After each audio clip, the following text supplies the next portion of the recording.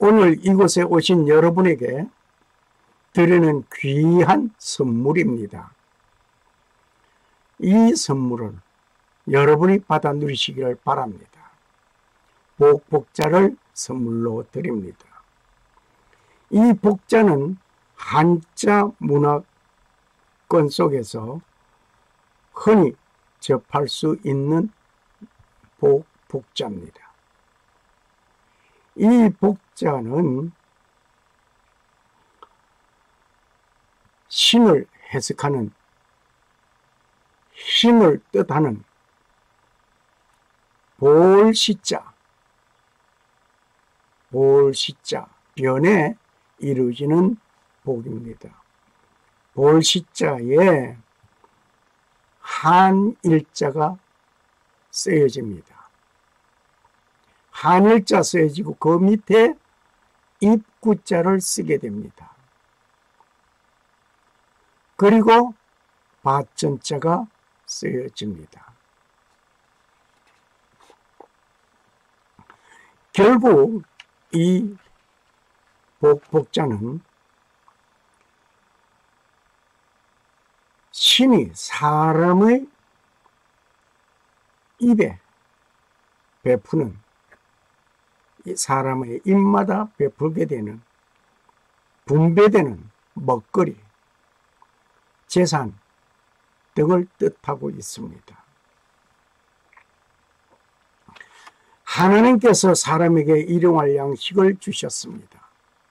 주기도문에서와 같이 주님께서 가르쳐 주신 기도와 같이 일용할 양식을 주옵시고 그 열 사람을 먹일 수 있는 입이 한 분의 하나님께서 허락해 주신 복입니다.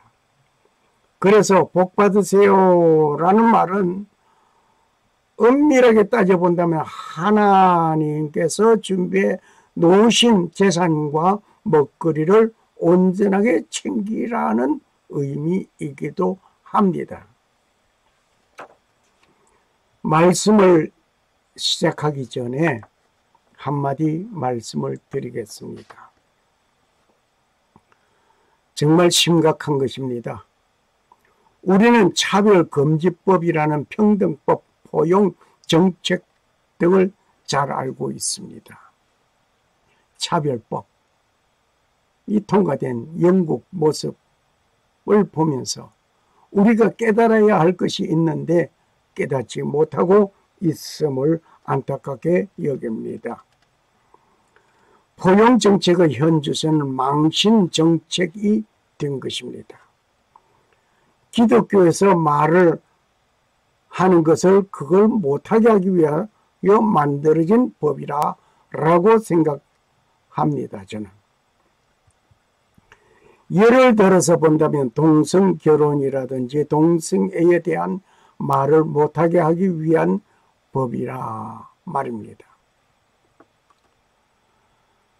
학교에서 동성애 교육법을 거부하다가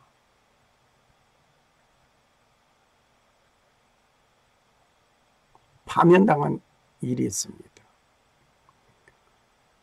동성애 교육을 해라. 그걸 거부하다가 파면됐단 말입니다.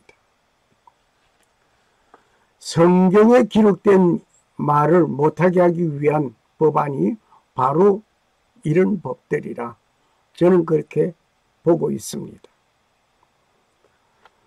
기독교에서 동성애는 하나님께서 금하신 행위라고 설교를 하면 차별법에 의하여서 강한 법 집행이 진행 되는 것입니다. 안타까운 일입니다. 그런데 차별금지법 또는 평등법 등 포용정책이라고 말을 하는 그 속에 기독교에서 말을 하는 것을 왜 받아들이지 못하는지 자기만의 말만 하는 것이 옳은 얘기인지 답답합니다. 이 포용 정책의 현 주소는 망신 정책이 되어 있음을 자타가 공언합니다.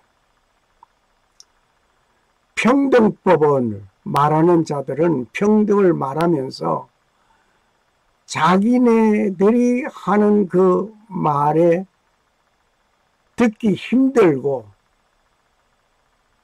거부되는 말들을 못하게 하기 위한 것이라 말입니다. 그들은 자기들의 행동에 대하여 말을 못하게 하기 위하여 자기를 차별한다고 말을 합니다. 기독교에서 하는 말을 못하게 하기 위한 것이라 말입니다. 평등법이라는 평등하게 봐야 할 텐데도 불구하고 기독교에서 하는 말 평등하게 대하고 들어줘야 할 것이 분명한데도 그렇지 못합니다.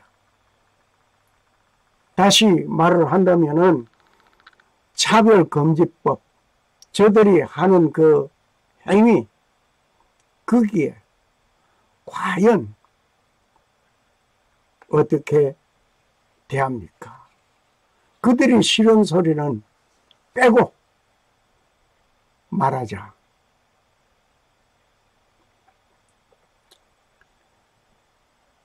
말을 하면 답답해서 말이 더 나오지 않습니다. 너는 여자와 규합함 같이 남자와 규합하지 말라. 이는 가정한 일이니라. 레위기 18장 22절을 말씀하셨습니다. 이 말은 무슨 말인고 하니 여자와 규합한 것이 여자와 성관계 하듯이 남자와 남자끼리 성관계 하지 말아라. 어떻게 성관계 남자와 남자끼리 할 수 있느냐? 아, 답답합니다. 가정한 일이라고 하는 것을 가정한 행위를 하는 그 모습. 답답합니다.